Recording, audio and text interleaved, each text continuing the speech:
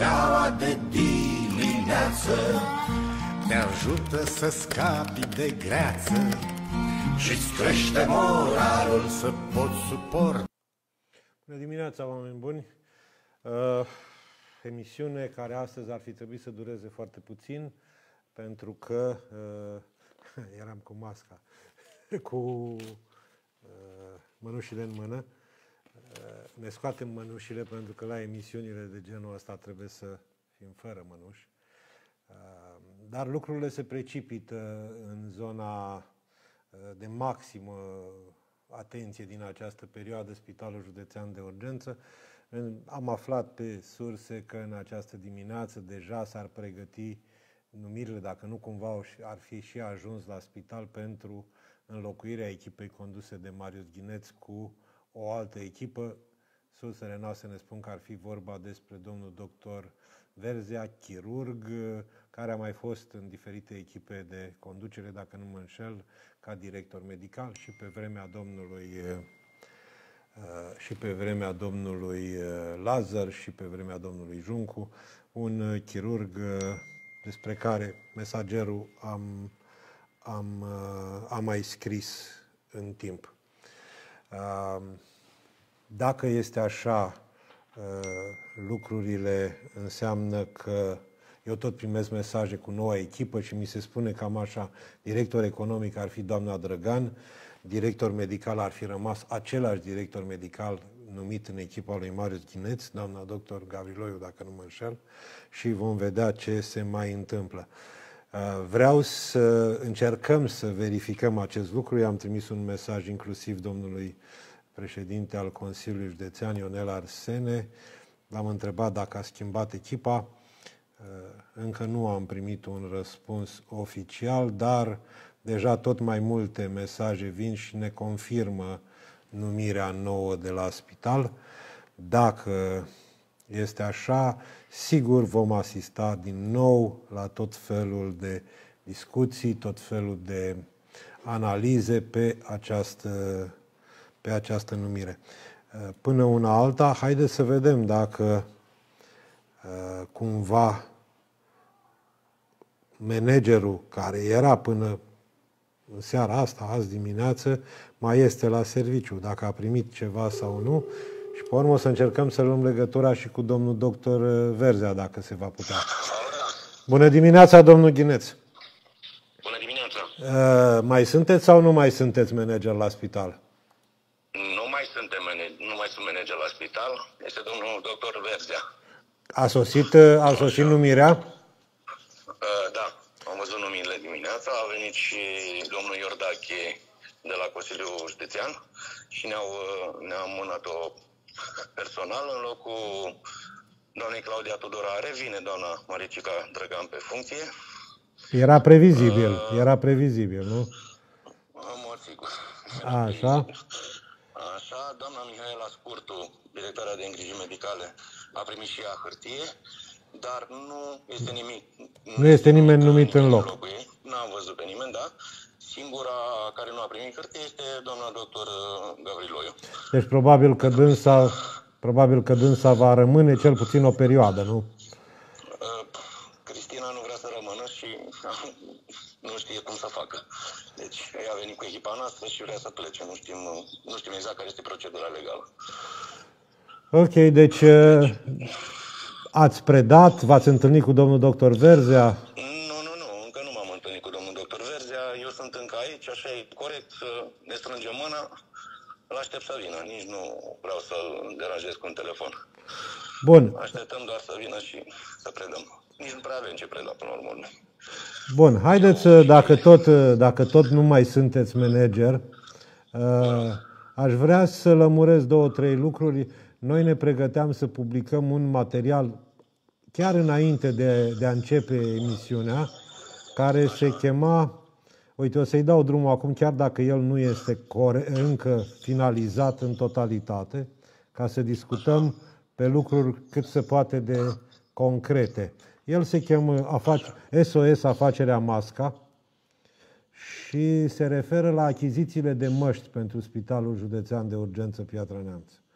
Uh, am văzut că ați publicat Am, alo? Am, vă- mă auziți? Alo, mă auziți? Nu vă mai auzeam, mă sunat cineva între timp. Da. Acum vă aud, da. Uh, ați publicat pe site-ul spitalului lista achizițiilor și acolo apar două achiziții uh, care mie mi-au sărit în ochi. De ce? Pentru că prețul este mai mare decât uh, al celorlalte achiziții. Uh, o achizi- deci o achiziție în data de 10, uh, dacă nu mă înșel, 10 aprilie, chiar în ziua când se schimba echipa de la uh, echipa numită de doctorul Tăta, de ministrul Tătaru cu o alta. Și după aceea în data de 13. Prețurile sunt mai mari, de 3,4 lei față de prețurile celelalte. Uh, Aveți vreo explicație? Nu știu ce explicații să vă dau. Noi am văzut că sunt niște diferențe de prețuri. Nu numai acolo că n-am stat să ne uităm exact la uh, speța despre care vorbim. Probabil că sunt diferențe de prețuri și la alte produse, la alte firme noi. Pentru transparență am publicat absolut toate achizițiile. Mi se pare un mod corect și normal de lucru, având în vedere că lucrez cu bani publici. Nu am avut timp efectiv să stăm să le analizăm pe toate. Vă dați seama, în trei zile. Am stat doar efectiv trei zile la spitalul județean. Bun. Dacă mai rămâneam, probabil că ne uitam cu, cu atenție la fiecare achiziție. Probabil sunt discrepanțe de preț. Nu mi le pot explica, n-aș avea, adică aș putea să mi le explic, dar nu vreau să, să insinuez absolut nimic. Nu e treaba noastră. Noi n-am venit, n-am stat trei zile la spitalul județean să facem anchete. Noi am stat trei zile să muncim aici. Bun. Și am muncit cât s-a putut de mult. Aș vrea să mai lămuresc o situație. Deci mesagerul de neamț publica uh, cu cât ceva timp înainte de a fi numiți dumneavoastră un material cu doamna doctor uh, uh, care a fost înaintea dumneavoastră la spital, doamna doctor Marcoci, care spunea că sunt stocuri pentru o lună, o lună jumătate. Uh, Eu am aflat Așa. din spital că aceste, că ieri la altă ieri ați fost anunțați ca echipă de conducere că nu mai sunt stocuri decât pentru două, trei zile. Care este adevărul? Adevărul este următorul. Și dumneavoastră aveți dreptate. Deci noi am venit, când noi când am venit la uh, conducerea spitalului uh, de urgență Piatra Neamț, uh, am văzut și noi declarația în presă a doamnei doctor Marcoci că se stocul la spital pentru o lună jumătate. Am zis, păi, ok, probabil că așa o fi. Totuși, marți, m-am dus la magazie împreună cu colegii să vedem efectiv dacă stocurile scriptice să, să pupă efectiv cu cele fizice, să le vedem dacă e. Și am avut o surpriză incredibilă. Și pot să vă zic, n-am spus-o nimănui și vă zic acum. Marți, la ora 12, Spitalul Județean de Urgență Piatra Neamț avea stocuri de echipamente pentru uh, lupta cu COVID pentru două zile. Deci rețineți, marți pentru două zile. Da? Bun, stați o secundă, stați o secundă, că lucrurile, deci o iau razna. Dacă erau stocuri la vremea aceea pentru o lună și marți erau pentru două zile, Eu nu contest faptul că nu erau atunci. Păi, eu de asta Dar spun. faptul Că sunt pentru două zile. Eu- Și am eu- și documente cu care pot proba acest lucru. bun, Deci le-am și văzut. și atunci pe secții nu sunt stocuri? Pe, Pe pe sec- secție am sunat, ceva stocuri mai au pe secții, să zic, pentru o zi, două, trei, maxim. Uh, ne-am, am verificat și stocul de la UPU, ca să fiu sincer. Ne împrumutăm de la ei. Până când dăm drumul la procedură. Acum știți foarte bine, procedurile licitații durează 90 de zile. Noi am găsit și soluția prin care să dăm drumul la licitații și după aia să-i chemăm la negocieri directe. Pentru că e singura soluție într-o, într-o situație de criză de genul ăsta.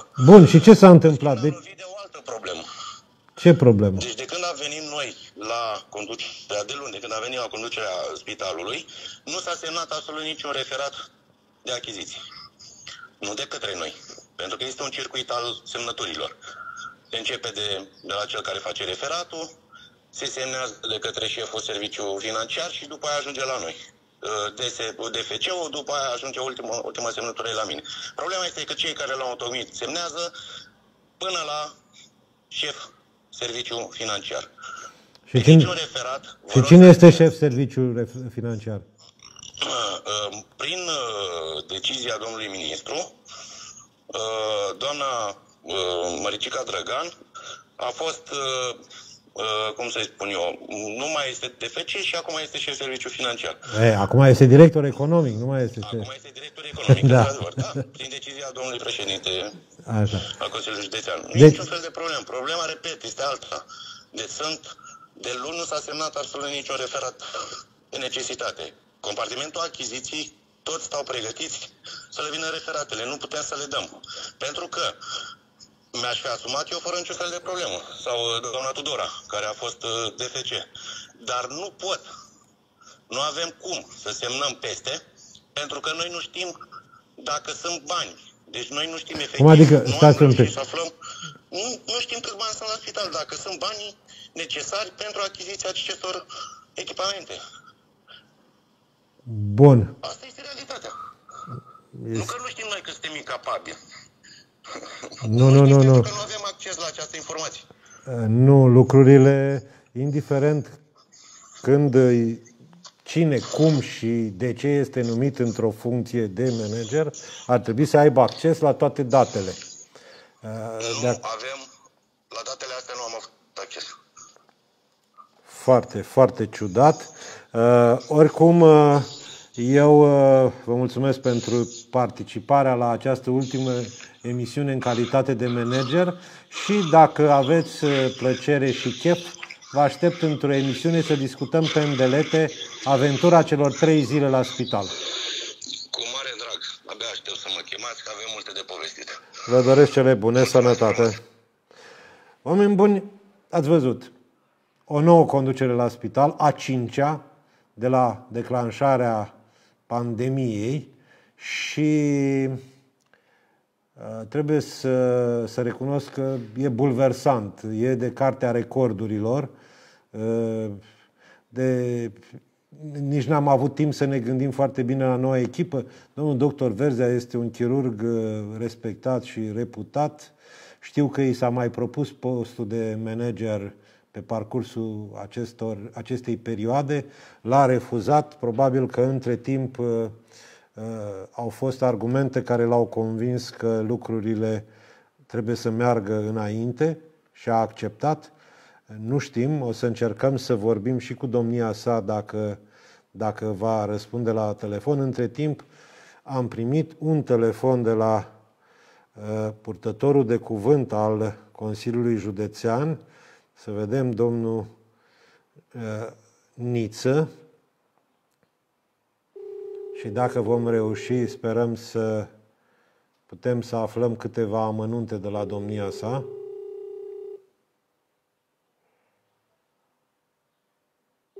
Uh, Bună dimineața, domnul Niță, suntem la cafeaua de dimineață. Bună dimineața! Uh, V-am sunat mai devreme și aveam nevoie de o confirmare. Între timp ea a sosit că există o nouă echipă de conducere la Spitalul Județean de Urgență Piatra Neamț. Ne puteți spune un pic, în afară de ce știm noi, că e domnul doctor Verzea și uh, doamna Maricica Drăgan, Momentan, în afară de asta, nu am, nu am nici eu alte detalii. nu aveți nici dumneavoastră alte Știu detalii. că s-a schimbat conducerea spitalului.